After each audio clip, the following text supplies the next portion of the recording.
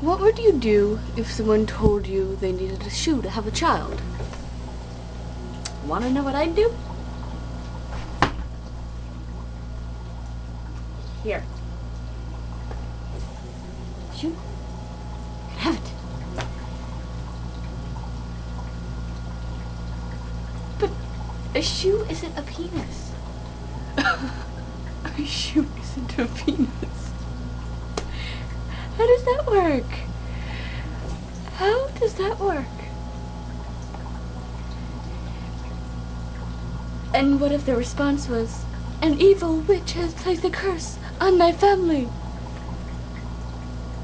Um. Hmm. Sorry, lady. Need a phone. Um. Yes. Um. I believe you need to pick up this person. She belongs in the nut house. She thinks she needs a shoe to have a child.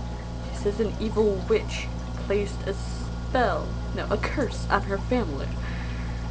Yeah, I know. It's crazy, huh? No, no, no, no, I'm not crazy at all. Listen, look, look over there. Look over there. See, that's her, that's her, that's her.